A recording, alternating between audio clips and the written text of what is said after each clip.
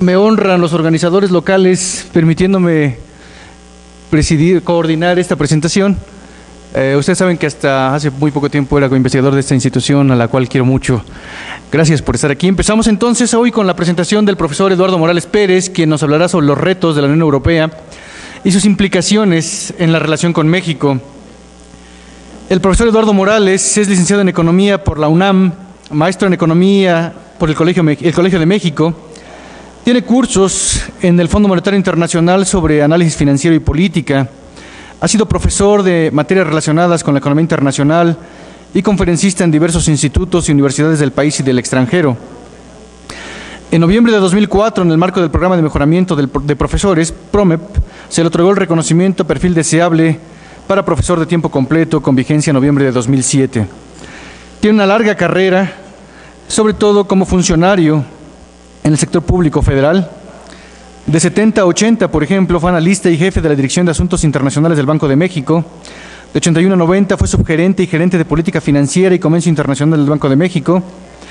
En 91 a 92, director general de Asuntos Económicos para América Latina y el Caribe en la Secretaría de Relaciones Exteriores. Y así una lista detallada año con año. De 99 a 2006 ha sido coordinador del programa interdisciplinario de estudios sobre Europa del Colegio Mexiquense. Ha producido más de 25 artículos técnicos en publicaciones arbitradas como el Boletín de Economía Internacional, la serie de documentos del Banco de México, la revista Comercio Exterior y la revista Mercado de Valores. Es coautor del libro México hacia la globalización de Editorial Diana y autor de una nueva visión de la política internacional de México, relaciones con la Unión Europea, de eh, la Universidad Iberoamericana y Plaza y Valdés, coordinador y coautor del libro Las relaciones de México con la Unión Europea, retos y oportunidades. Finalmente es miembro de la European Community Studies Association y de la Asociación Mexicana de Estudios Internacionales. Estos son solamente algunos datos del largo currículum del profesor Morales, a quien eh, le cedo la palabra en este momento para que nos deleite los siguientes minutos, 60 minutos al menos. Bueno, en primer lugar, muchísimas gracias y eh, al igual que lo hizo el doctor Pablo Mejía, les ofrezco las disculpas por esta demora de casi una hora. De verdad que tuvimos una ceremonia que se alargó, pero pues, deben entender que es eh, una ceremonia de un aniversario muy significado para nuestro, significativo para nuestra institución. Así es que, una vez más, disculpas por este retraso. Y además agradecerles a muchos de ustedes, a, muchos de ustedes jóvenes que seguramente van a tener la primera oportunidad de estar inmersos en, asuntos de tipo internacional, particularmente sobre los europeos, pues su paciencia y su interés. Espero que mi exposición sea lo suficientemente atractiva para que ustedes eh, se interesen más en los asuntos internacionales. Bien, miren, eh, en primer lugar, Em, eh, lo que yo quisiera yo decirles, voy a dividir mi exposición en dos partes. Primero vamos a analizar los tres acuerdos que México ha suscrito con la Unión Europea y después vamos a ver cuáles son los retos que enfrenta la Unión Europea y cómo estos pueden afectar a nuestro país. Si usted me lo permite, voy a ir bastante eh, rápido. Hay una muy buena exposición. Eh, seguramente el doctor eh, Pablo Mejía y los organizadores de este coloquio, entre los que me encuentro su servidor, estaremos en la mejor disposición por presentarles en la página de internet del propio colegio o también en la página de la Facultad de Economía este material que vamos a exponer. Miren, parece mentira. México ha suscrito tres acuerdos internacionales con la Unión Europea. Antes de 1994 se llamó la Comunidad Económica Europea. Pero cuando hablamos de Unión Europea, lo estoy ya refiriendo al nombre oficial que tiene en estos momentos. Miren ustedes, uno en 1975, otro en abril del 91 y uno más en diciembre de 1997. Y uno dice, ¿para qué tantos acuerdos? ¿Verdad? ¿Cuáles fueron los motivos por los cuales se suscribieron esos acuerdos? Y eso es a lo que voy a pasar. En primer lugar, el acuerdo de 1975, que se llamó Acuerdo de Comercio y Cooperación, México, Comunidad Económica Europea, eh, eh, obedeció a una, a, una, a una razón muy clara. La primera era, se presentó una crisis económica muy severa en Estados Unidos. Estados Unidos, después de casi 16 años, por primera vez dejó de ser el líder inamovible en materia económica, financiera e industrial. Por primera vez su liderazgo se vio eh, afectado por, por, una circunstancia. Empezó a, a, presentar problemas de desequilibrios de pagos y de comercios y de comercio. ¿Cómo es posible que un país, terminando la, la Segunda Guerra Mundial, un país que había emergido como una potencia indiscutible, años más tarde se enfrentara a una situación tan difícil? Imagínense ustedes las decisiones que tomó en 1971. En primer lugar, suspendió la convertibilidad del dólar en oro. Esa era la base fundamental en que descansaba la creación del Fondo Monetario Internacional y del Banco Mundial. Y de la noche a la mañana, él dice, señores, suspendo. Ya no existe esa conversión de este, una onza de, oro por 35 dólares eh, eh, de los Estados Unidos. Lo suspendo. ¿Se pueden imaginar lo que eso significa? ¿Dónde está la relación oficial para todo el resto de los países acerca del valor exacto de sus monedas o con otras monedas o con el oro? Fue una situación de incertidumbre increíble. Como segunda medida, sin mediar ninguna información a través del GATT, que era el Acuerdo General de Aranceles Aduaneros y Comercio, antes, ahora, perdón, OMC, impuso de manera unilateral una sobretasa del 10% a los aranceles, eh, digo, al comercio internacional eh, que realizaba Estados Unidos. Imagínense ustedes que de la noche a la mañana cruzan la frontera con Estados Unidos con sus mercancías y les dice la aduana de los Estados Unidos tendrán que pagar 10% adicional de arancel sobre el valor de su mercancía. Automáticamente se provocó un dislocamiento en las corrientes de comercio y del intercambio. ¿A quién iba dirigida estas medidas? Iba dirigida fundamentalmente a Europa y a Japón. Sin embargo, el país más afectado fue México, porque México en aquel entonces orientaba el 65% de su comercio hacia Estados Unidos. No quisiera yo eh, tomar más tiempo en esta, estas medidas que fueron brutales. Otra medida que también es importante tomar en cuenta es de que Estados Unidos suspendió cualquier ayuda económica financiera a todos los países. Si, por ejemplo, el Banco de Exportaciones e Importaciones de los Estados Unidos, el Exim Bank, había ofrecido una línea de crédito para, por ejemplo, para un proyecto específico para el comercio, automáticamente se suspendía. Así se hubiera firmado, el contrato se suspendió de manera unilateral. Todo ese tipo de medidas son violatorias, fueron violatorias al eh, marco jurídico internacional que prevalecía en aquellos años. Para ser más claros, toda esta situación provocó un enfrentamiento entre Europa y Estados Unidos. En 1971, en diciembre de 71, Estados Unidos devaluó su moneda por primera vez. No sé si ustedes les han dicho sus clases de comercio internacional que Estados Unidos también se ha visto en la necesidad de devaluar su moneda la devaluó en diciembre de 1971 y, se, y, después vuelve a devaluar su moneda en febrero de 1973 ante la impotencia de no poder corregir los enormes desequilibrios de pagos y de comercio que tenía Estados Unidos con el resto del mundo. Los países petroleros miembros de la OPEP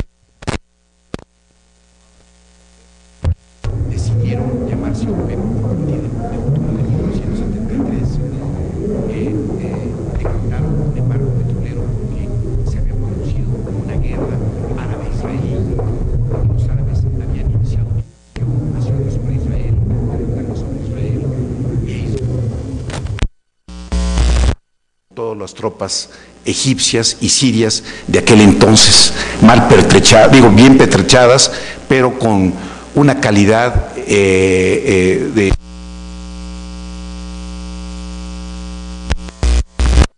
de los soldados egipcios habían difícilmente cruzado la primaria los metas, entonces podían darles las mejores armas a las personas que estaban en esas condiciones. Bien, el embargo petrolero fue la única arma poderosa que tuvieron los árabes para poder frenar lo que era ya el colapso de, Egip- de Y de Siria en aquel entonces. Entonces el embargo petrolero provocó un desastre, sobre todo para los países europeos. ¿Por qué? Porque los países europeos dependían en cerca del 90% del suministro de petróleo, su único elemento energético que tenían los europeos, dependían del suministro que les proporcionaba los países árabes del Medio Oriente. Ante estas circunstancias, eh, los europeos intentaron eh, eh, pues buscar un diálogo, un arreglo negociado con los países miembros del OPEP. Sin embargo, Estados Unidos, que no dependía tanto del petróleo del Medio Oriente, porque por fortuna para ellos este, tenía el suministro de Venezuela, de Canadá, del propio Estados Unidos, de México, entonces lo que decía los europeos se dieron cuenta de su enorme vulnerabilidad. Ante esa vulnerabilidad, eh, y una vez que se logró que los precios se estabilizaran a precios a, niveles muy altos, entonces los europeos este, coincidieron en la necesidad de buscar alianzas en otros países. Y por primera vez, la Comunidad Económica Europea de aquel entonces mira hacia terceros países y preferentemente mira a los países que no se habían adherido a la Europa comunitaria de los seis. Recuerden que la Europa comunitaria de los seis fueron Alemania, Francia, Bélgica, Luxemburgo, Holanda e Italia. Entonces, eh, ante esta circunstancia, otros países se sumaron al esfuerzo comunitario, entre ellos Reino Unido, Irlanda, Dinamarca. Esto sucedió el primero de enero de 1973, pero en 75 iniciaron una ofensiva diplomática los europeos para buscar acercamientos con América Latina. México fue el tercer país que suscribió ese primer acuerdo de, marco de comercio y cooperación en 1975. El acuerdo marco de cooperación, eh, el acuerdo de comercio y cooperación México-Comunidad Económica Europea, tuvo resultados francamente desalentadores. En primer lugar, un escaso aprovechamiento de las ventajas comerciales que ese acuerdo significó. Y en segundo, recordarán ustedes que en 1976 México afrontó una crisis económica, la primera serie de las crisis económicas enormes eh, que se produjeron en México. Ustedes son la generación que ha nacido en los, años en que se han producido enormes crisis económicas en nuestro país. Yo recuerdo que en 76 México devaluó su moneda en 45%. Y recuerden que fue en una Semana Santa. Se aprovechó los días feriados para anunciar un lunes así, de golpe y porrazo, como decimos nosotros, una devaluación del 45%. crisis económica por primera vez. Eh, el otro elemento es que México supuso que no le importaba que no se pudiera aprovechar adecuadamente eh, las ventajas de ese acuerdo con Europa, porque además existía el principio de la cláusula, cláusula de la nación más favorecida. ¿En qué consiste, la cláusula de la nación más favorecida? Consiste en que un país puede recibir todos los beneficios comerciales que se den a terceros países. Es decir, yo no necesito negociar nada, no necesito eh, eh, enfrentarme o sentarme con un país desarrollado. Todos los beneficios que otorgue a un país en desarrollo automáticamente se extienden a mi país. Entonces México se confió en esa, en esa, figura y esa figura, como veremos, en 1986 se colapsó y nos provocó serios problemas a nuestro país. Miren ustedes, la participación de México en el comercio mundial, eh, si vemos el cuadro siguiente, no sé si lo alcanzan a ver, eh, México eh, exportaba hacia, hacia, hacia la Unión Europea, perdón, es la participación de México en el comercio mundial. México ocupa una posición prácticamente irrisoria de 0.3 décimas, o sea, tres décimas de 1% en 1960, después tenemos 0.5, 0.8, aumenta en 1980, pero realmente participaciones muy modestas. Ya en 80 aumenta a cerca del 1%.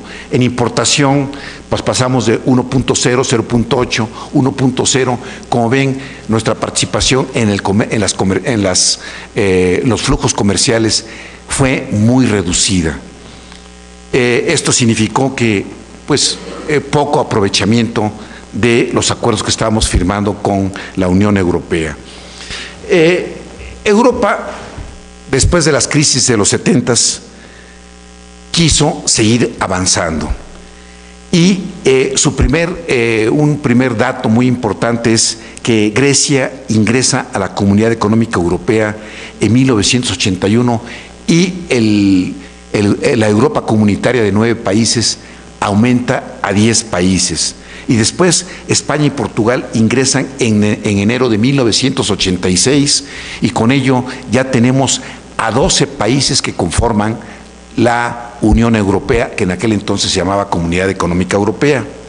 Pero lo más importante es que los europeos logran crear un mecanismo un sistema monetario llamado serpiente monetaria, en donde se desligan del dólar de los Estados Unidos y se apalancan con el marco alemán, buscando que los efectos de, los cambios eh, de la paridad del, del dólar con las monedas europeas estuvieran afectándolos, entonces deciden que la moneda más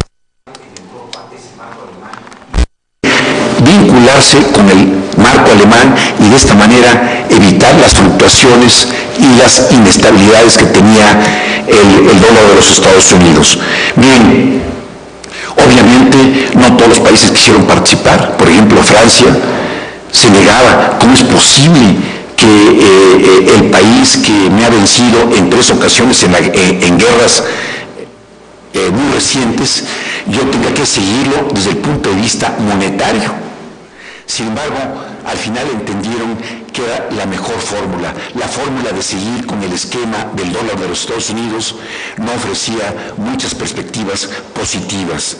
Bien, eh, el Reino Unido también se incorporó a la serpiente monetaria, después se salió, prácticamente toda Europa intentó incorporarse a ese sistema monetario europeo llamado serpiente monetaria. ¿Qué pasa en, 1900, en, los, en los 80, en los inicios de los 80? Esto es bien importante que ustedes lo sepan. México, una vez más, inmerso en otra crisis. México decreta el primero de enero, perdón, el primero de septiembre de 1982, espero que ustedes ya hayan nacido en los 80, pero pues seguramente sus padres eh, se los podrán comentar, México decreta la suspensión de pagos de la deuda externa Simplemente dice México, eh, debo, no niego, pago, no tengo. Así se, se, tradujo simplemente en la suspensión de pagos de la deuda. Pero además expropia la banca comercial. Yo recuerdo muy claramente, porque estaba yo en el Banco de México en aquel entonces, de que el secretario de Hacienda de aquel entonces le pidió a los principales directivos de los bancos comerciales privados eh, eh, realizar negociaciones en el exterior para lograr eh, apoyos que Estados Unidos se negaba a darnos, a nosotros, nos puso muchos requisitos que algunos de ellos eran muy este, eh, eh, desequilibrados. Por ejemplo, aceptara que México se comprometería a vender muchos millones de barriles de metros cúbicos a un precio inferior al que existía en el mercado internacional. Imagínense, no se crean que nuestros eh, vecinos del norte han sido muy generosos con nosotros. Y además, no solamente nos castigaban con el precio, sino que además nos decían, ese dinero no tendrá que pasar por las arcas del Banco de México, irá directamente a parar al Tesoro de los Estados Unidos. Entonces, en esas circunstancias, eh, México, las autoridades a la banca privada, los directivos de la banca privada, hacer negociaciones para tratar de convencer a la parte norteamericana de la ventaja de apoyar a México, no en, esos, en esas condiciones leoninas. Cuando ellos estaban negociando, se decreta la expropiación de la banca comercial en un acto realmente eh, eh, eh, este, arbitrario por parte de las autoridades mexicanas de aquel entonces. Pero además, como tercer elemento, se introduce el, control de cambios el control de cambios, no sé, ustedes no han vivido esos momentos, pero fue muy difícil para nuestro país en aquel entonces el control de cambios. Imagínense, ustedes no pueden ir al banco si tenían un viaje programado de estudios, de compras o de visita de algún familiar, no podrían ir a Estados Unidos y no podrían comprar dólares en México porque los dólares se vendían en forma muy restrictiva y a un tipo de cambio o a un precio que determinaba la autoridad monetaria. Ante esas circunstancias se dislocaron muchas, este, muchas relaciones comerciales, financieras. Yo recuerdo que eh, hubo un Congreso Internacional de Gastroenterología en México en el año 82 y en noviembre de 82 ellos, como es un Congreso Internacional, remitieron recursos en dólares a México antes del control de cambios. Y cuando terminó el Congreso, como es obvio, un Congreso pues eh, saca sus cuentas, lo que, lo que obtuvo de beneficio para, para el siguiente Congreso, lo quieren retirar. México se negó terminantemente a devolver ese dinero. Tuvimos que hacer gestiones durante casi un mes para que ese Congreso Internacional pudiera retirar los dólares que le correspondían. Estos son los daños que provoca un control de cambios, ¿verdad? Son medidas extremas, radicales, que eh, lejos son, se logran beneficios de muy corto plazo, pero a la larga producen efectos muy dañinos a la sociedad. Además, en esos años se provocó un severo distanciamiento entre el sector privado y el sector gubernamental. Eh, yo recuerdo eh, la situación eh, tan difícil que se enfrentó, hubo inclusive el asesinato de un prominente empresario, líder empresarial del norte del país, de Monterrey, eh, que se oponía terminantemente a las decisiones que había tomado el presidente López Portillo, y eso distanció mucho al sector privado. Si se distancia el sector privado y el sector gubernamental, es obvio que no es un ambiente propicio para generar mayor actividad económica. En el 85 y 86 volvimos a caer en una situación de crisis. En 85 por la hecatombe que significó el temblor de septiembre de, ese año. Recordarán ustedes los daños inmensos que se provocaron a la infraestructura y al país y, este, y la alarma y los costos que esto significó. Eh, y en 86, recordarán ustedes, cayó el precio del petróleo en una forma tal que los precios tan elevados de 30 dólares por barril descendieron por debajo de los 10 dólares casi, casi hacía imposible colocar nuestro petróleo en el mercado internacional. Esto provocó otra, otra de las crisis muy severas en nuestro país. Sin embargo, México recobra los elementos vitales de su economía. México, quiero decirles también, por presión de los Estados Unidos, suscribe un acuerdo o un entendimiento sobre subsidios y derechos compensatorios los renglones más dinámicos de la exportación mexicana en estos años estaban siendo objeto de investigación comercial por, Estados Unidos bajo la sospecha de que México estaba subsidiando de manera desleal a su sector industrial. Efectivamente, México tenía muchos ejemplos de, subsidio, pero no me van a negar ustedes que también sabemos que Estados Unidos subsidia enormemente a su sector industrial y no digamos a su sector agrícola. Bien, pero México tenía que exportar, tenía que salir del hoyo donde había caído. Entonces, eh, yo recuerdo que algunos funcionarios determinaron no todos, porque hubo una reunión del gabinete y en el gabinete hubo una enorme división, sin embargo se, impuso la decisión gubernamental en el sentido de firmar un acuerdo de subsidios y derechos compensatorios en donde México se negaba, perdón, México se comprometía a no establecer ningún subsidio de tipo financiero, fiscal y monetario a favor de su sector industrial. Y además se comprometía a derogar cualquier elemento de, estímulo eh, eh, favorable al sector industrial a más tardar el 31 de abril de 1986. Otro paso importante que se da es que eh, México se incorpora al GATT también por presiones de los Estados Unidos. Y pues yo puedo decirles a ustedes que México decide acatar las disposiciones de la legislación norteamericana. No crean que fue demasiado este, libre eh, una, una eh, soberanía nacional la que dijo vamos a ingresar al GATT. No nos quedaba más recursos que ingresar al GATT. Eh, pasamos a la otra gráfica. México había optado por la apertura comercial e iniciaba una reforma económica. México decidió hacer un uso más este, intensivo del arancel. Eh, recordarán ustedes que México, no sé si ustedes recuerdan sus clases de economía que les dieron, pero México tenía un esquema de protección basado en los permisos previos de importación tenemos que pedir una licencia para poder importar y tenemos que explicar para por qué importar este, un medicamento que es muy importante, teníamos que pasar por el esquema de un permiso previo de importación, la burocracia se reunía y tomaba una decisión, pero no estaba ajena a los actos de corrupción que se cometieron en aquel entonces. México decidió quitar los permisos previos, derogar los permisos previos e incorporar el arancel. Se eliminaron los precios oficiales, las cuotas de importación y además se fortaleció las finanzas públicas, se disminuyó la inflación.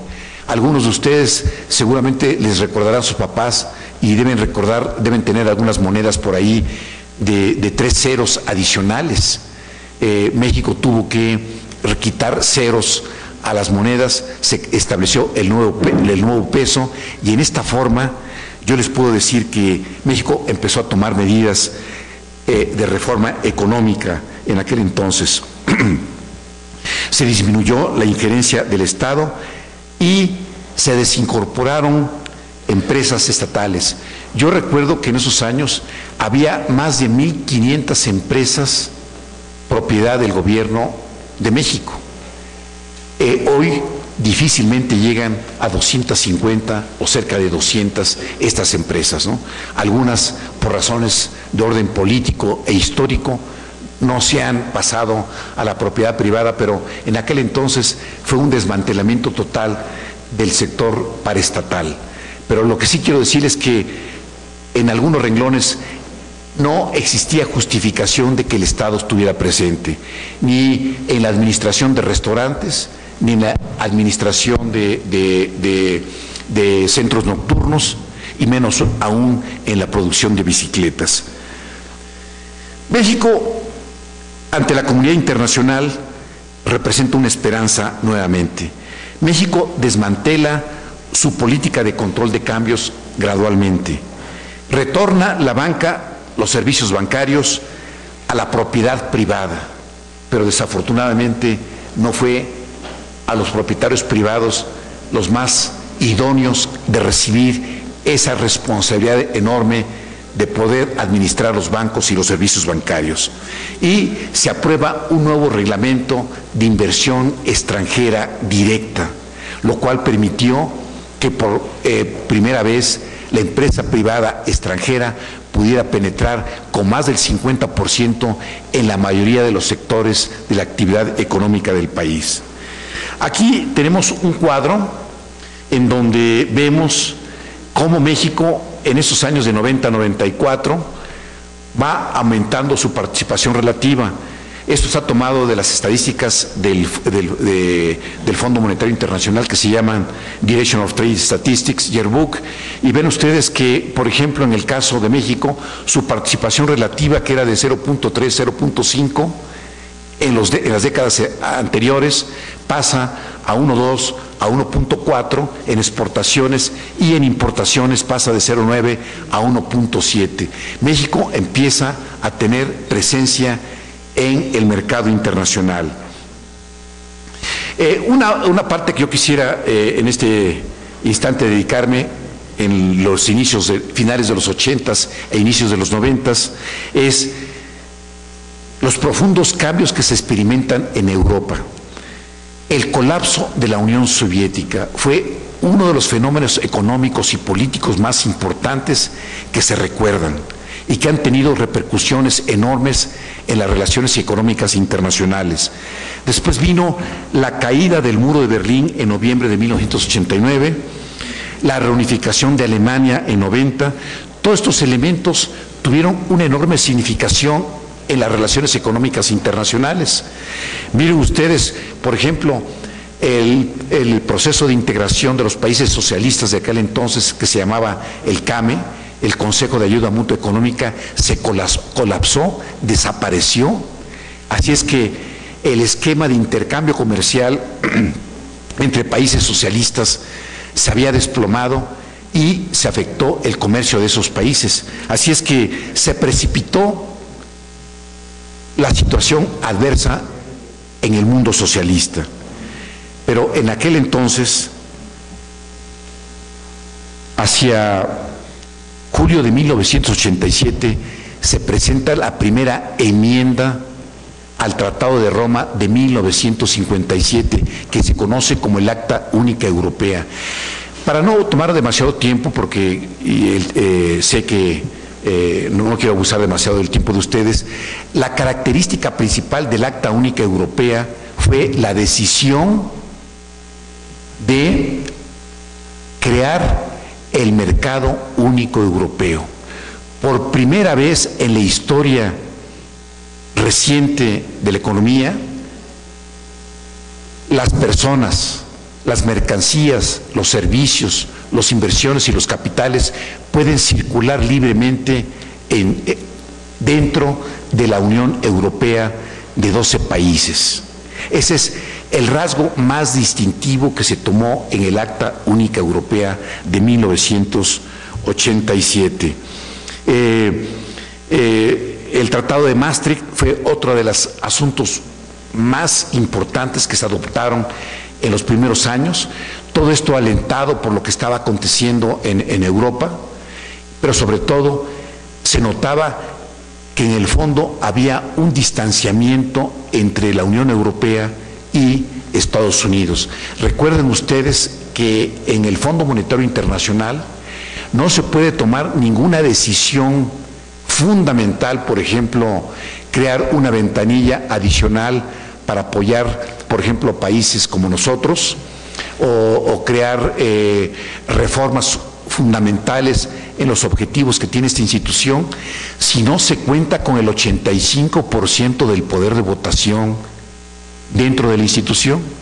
Y si un país tiene el 17.5% como es Estados Unidos, él simplemente puede bloquear cualquier decisión que 181 países decidan que es lo correcto. Entonces los europeos vieron que no, no podrán salirse del Fondo Monetario Internacional, pero crean su propio Fondo Monetario Internacional dentro de Europa, que es eh, eh, que es el sistema monetario europeo que se crea a partir del Tratado de Maastricht.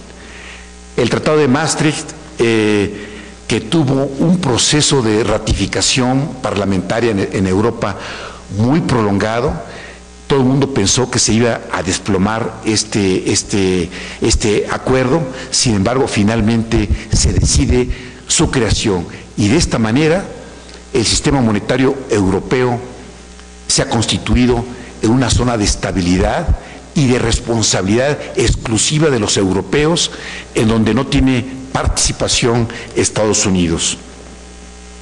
En 1991, si cambiamos, se, este, se celebra el segundo gran acuerdo con la Unión Europea, el Acuerdo Marco de Cooperación México Comunidad Económica Europea en abril de 1991.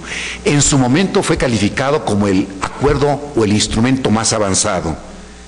Se convino en que tendría una vigencia de cinco años con capacidad de renovarse cada año. Y además se pensó en una cláusula evolutiva que consistió en que si las dos partes convenían en incorporar nuevos sectores, nuevas temáticas, nuevos este, protagonistas, no habría ningún problema porque tendría la suficiente flexibilidad este acuerdo. Sin embargo, como veremos más adelante, México y la Unión Europea, antes de que finalizara este convenio de 1991, decidieron dejarlo fuera de vigor lo, hicieron que colapsara aún antes de su vencimiento. Eh, al igual que en el documento primero que se firmó, el de 1975, también el de 1991 tiene un escaso aprovechamiento por parte de México. Por primera vez, le quiero decirles a ustedes que eh, influyó de manera notable la rebelión, rebelión zapatista del 1 de enero de, 94 y los asesinatos políticos. En diciembre de 94 se detona la más severa crisis económica reciente que ha tenido México. Recordarán ustedes, es así, la recuerdan ustedes, quizá eran demasiado jóvenes, pero lo recuerdan a través de sus padres. El número de personas desocupadas, que se les canceló en el sector público, en el sector privado, sus empleos, las empresas que quebraron en nuestro país fueron miles. En aquel entonces se dijo que el desplome de la economía mexicana había sido del 7%. Se dice que en el siglo pasado la única caída brutal más grande que esta que sucedió en 1994-95 fue durante la gran recesión económica mundial en 1929-1932, donde se habla de que México quizá no hay elementos para medirlo correctamente, pero se habla entre el 10 y el 12%. El comercio exterior, como verán ustedes en la siguiente gráfica, eh, de México con la Unión Europea prácticamente no ha avanzado. Miren, en 90, 95 y 96 estamos sobre los 3 mil millones, un poco más de 3 mil millones de dólares. Y de importaciones los europeos siempre han sacado ventaja. No quiero decir que, que ellos eh, este, han tenido más éxito en, nuestras, este, en, nuestra, en sus decisiones de exportar a México. Es cierto, pero México no ha sabido aprovechar este, estos mecanismos. Pero déjenme decirles algo que yo difiero mucho de muchos analistas.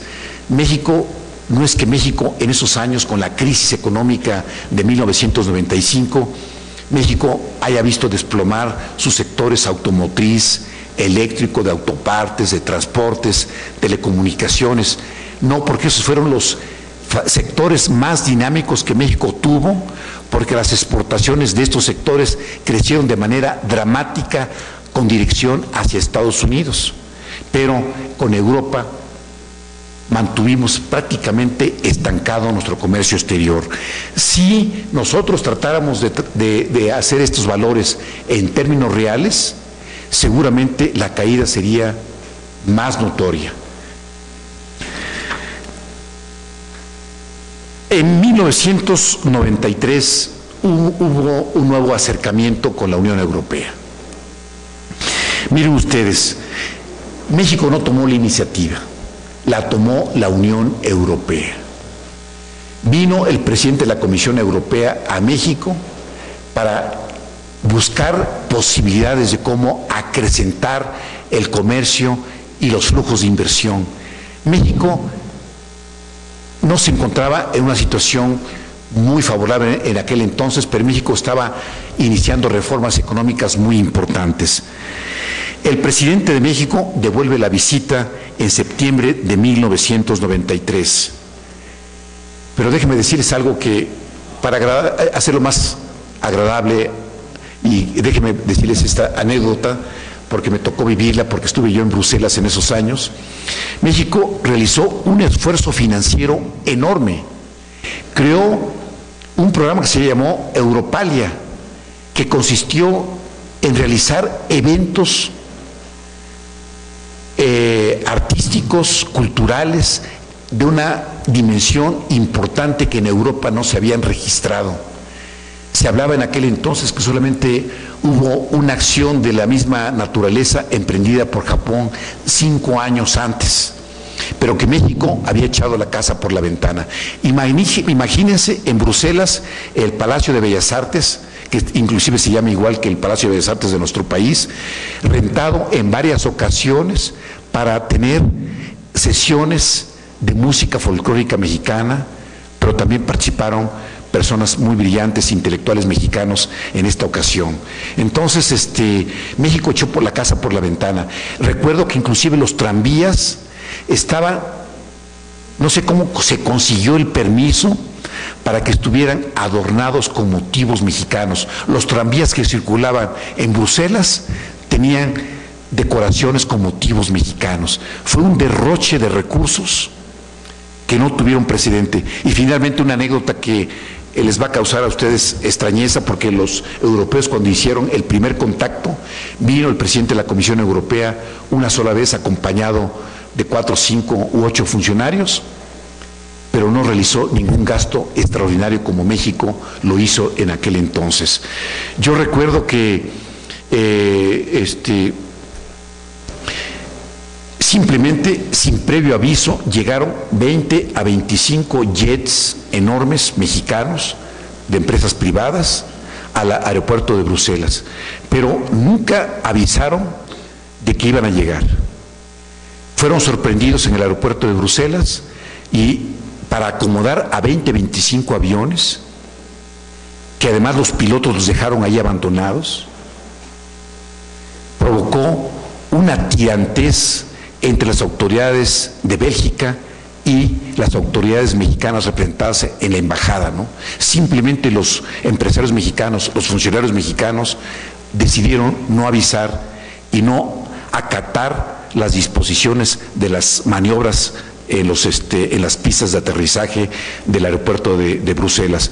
Esto demuestra la, arbitrariedad que nos caracteriza a muchos de los que eh, hemos tenido la oportunidad de estar en estas, en estas este, experiencias. Pero ¿por qué la Unión Europea se interesaba tanto en México? Si en 94 se presenta la crisis en 95 fue el hecatombe en nuestro país.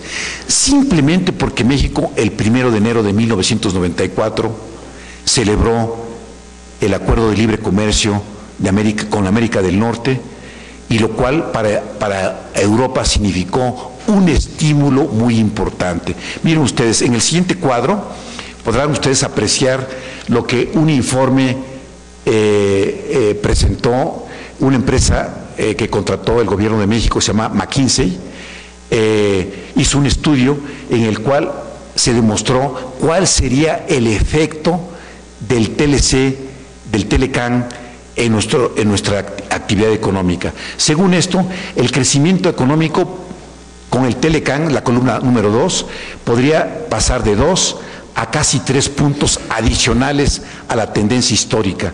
De esta manera se hablaba de que podríamos crecer entre el 5 y el 6%. La inversión podría estimularse con el Telecán entre 3 y 5%, de tal manera que podríamos pasar del 22 al 24%. Y finalmente el comercio exterior podría pasar del 2 al 7%, a más del 7%, de tal manera que tendríamos crecimientos del 8 hasta del 15%. Esto fue lo que estimuló a los europeos a acelerar las negociaciones para un acuerdo de libre comercio, perdón, un acuerdo de gran profundidad con nuestro país. Sin embargo, la posición relativa de México eh, en el comercio exterior, eh, la posición relativa de la Unión Europea en el comercio exterior de México, no es tan, tan significativa. Miren ustedes, la Unión Europea en exportaciones en 89 representaba el segundo proveedor, perdón, el segundo mercado. En, en 95 había caído al tercer lugar. En importaciones se mantuvieron la posición relativa del, dos, del segundo lugar. Esto significa que la Unión Europea también estaba preocupada de que estaba cayéndose su participación relativa en nuestro país. Y si íbamos a tener un Telecán, imagínense, todo el beneficio del Telecán hubiera descansado exclusivamente en Estados Unidos y Canadá. Ellos querían participar en nuestro país, por eso el interés en suscribir un acuerdo. Pero en ese año, en esos años, en 97, se suscribe los europeos siguieron avanzando, pero ahora vino la tercera enmienda, el Tratado de Ámsterdam. El Tratado de Ámsterdam simple y llanamente significa que la Unión Europea está más interesada en observar avances significativos en el ciudadano, ciudadano europeo. Entonces se crea una nueva legislación social, pero sobre todo lo que más le preocupaba a la Unión Europea es el tremendo desempleo que se estaba originando en la Unión Europea. En esos años, el elemento más, más preocupante era de que existían 18 millones de europeos sin trabajo en este continente, con 18 millones de personas sin trabajo en el, en el grupo de 15 países, era una bomba de tiempo.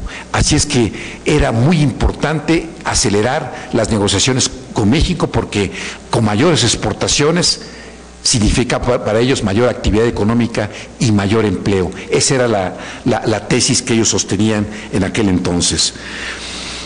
Eh, la Unión Europea camina hacia adelante en su proyecto, pero también afronta tropiezos. El tropiezo más importante que afronta la Unión Europea es ENISA.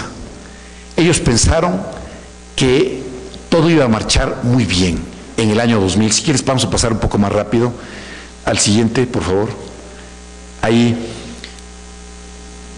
Todos pensaban que la Europa unificada, que iría desde prácticamente desde, desde eh, el Mediterráneo, el Atlántico, hasta los Urales, era ya casi muy próxima, ya se podría casi observar a simple vista.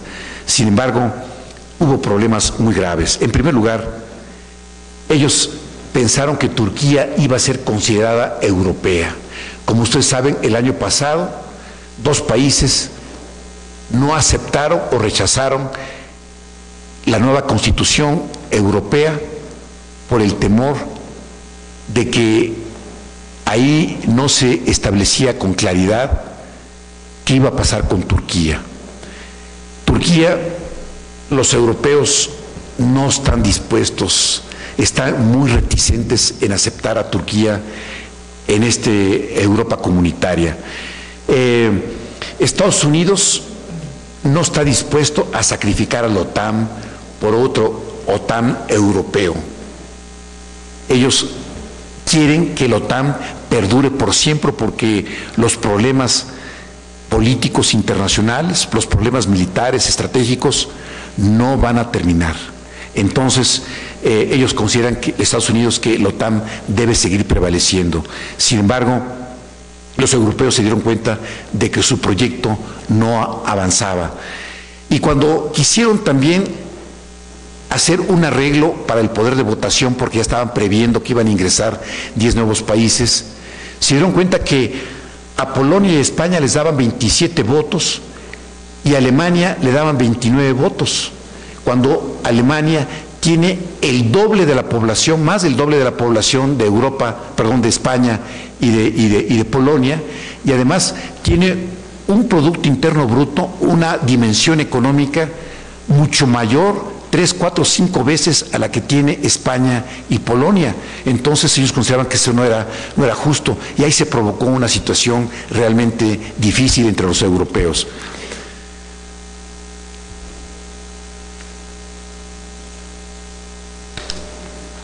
Otro, otro, otro pasa, este, ah, aquí dejamos. Los polacos y los checos podrán viajar libremente en la Unión Europea para encontrar trabajo. Fíjense que esto se colapsó, esta idea se colapsó. ¿Por qué se colapsó? Porque en Europa no aceptan, y hay una figura muy clásica, que un plomero realice por cuatro euros el trabajo que a un plomero francés, alemán o de los países comunitarios significa 20, 25 dólares. 20, 25 euros. Entonces, es una competencia completamente desleal. Lo único que vamos a provocar es mayor paralización en la economía, en la economía europea. Bien, ya no sigo más por esto porque ya tenemos el tiempo muy medido. Eh, yo quisiera entrar ahora, ¿cuáles son los retos más importantes que afronta la Unión Europea en estos momentos? Yo diría que, en primer lugar, es el desempleo. Si eh, nos vamos al, cuadro, podrán ustedes observar que la Unión Europea de los 15 y la Europa Europea de los 25. Y el desempleo en la Unión Europea está por el nivel del 8% y superior al 8%. Y si incorporamos a los países que acaban de ingresar, ese porcentaje aumenta en más de un punto. ¿Esto qué significa? Esto significa que los nuevos países que están ingresando tienen un problema de desempleo tan grave que están creando problemas muy severos dentro de la propia Unión Europea. Imagínense ustedes, Polonia y Eslovaquia tienen tasas de desempleo del 18% y algunos lugares hasta el 17%. Inclusive lo que fue Alemania democrática, Alemania comunista en aquel entonces, tiene niveles de desempleo también entre el 17 y el 18%. Entonces aquí es una bomba de tiempo enorme. Entonces, con la inclusión de nuevos países, es obvio que Estados Unidos, perdón, que la Unión Europea va a dedicar mayor atención a atender los problemas del desempleo. Entonces, para mí, me parece inviable que los 10 nuevos países acepten reducir los recursos financieros provenientes de los fondos de cohesión y los fondos estructurales para destinarlos a América Latina o a México, como algunos eh, ingenuamente piensan que se podría producir. Los fondos de cohesión. Con los 10 nuevos países que acaban de ingresar a la Unión Europea el primero de mayo de 2004, aumentó el tamaño de la población de la Unión Europea, aumentó el territorio, aumentó el Producto Interno Bruto, pero también aumentaron los requerimientos por mayores recursos financieros a favor de la población con ingresos bajos. Los 10 nuevos países que ingresaron a la Unión Europea se encuentran por debajo, muy por debajo del nivel promedio que tiene la Europa comunitaria. Por tal motivo los hace a los 10 elegibles a recibir fondos de cohesión y fondos estructurales. Entonces, ante esta circunstancia, ¿creen ustedes que pueda ser probable que la Unión Europea pueda destinar mayores recursos a otras regiones o a América Latina y a México? Yo lo siento improbable. Además, Francia insiste que además de los 10 nuevos países se tienen que destinar recursos a la Europa, perdón, al África del Norte o, a la, o al Medio Oriente, situación que para ellos es de vital importancia, sobre todo por los conflictos étnicos y los conflictos que tenemos, que se tiene con, la, con los grupos y las naciones musulmanas. Eh, pasamos a otro, a, otro, a otro caso, el déficit presupuestal. Miren ustedes, en 1988, por instancias del gobierno de Alemania, se decidió crear el Pacto de Estabilidad y Crecimiento en la Unión Europea. Ese Pacto de Estabilidad y Crecimiento era una exigencia para que los países se disciplinaran financieramente y que ninguno excediera más del 3% en su déficit de las finanzas gubernamentales. Hoy, más bien al cierre de del año 2005, el país más importante, Alemania, está por encima del 3%, por tercer o cuarto año consecutivo. Francia también por tercer o cuarto año consecutivo. El Reino Unido también por tercer año consecutivo. Polonia, Grecia, Italia, Bulgaria, Rumania, perdón, Hungría, porque Bulgaria y Rumania no, todavía no son miembros, Hungría están por encima del 5% y del 6%.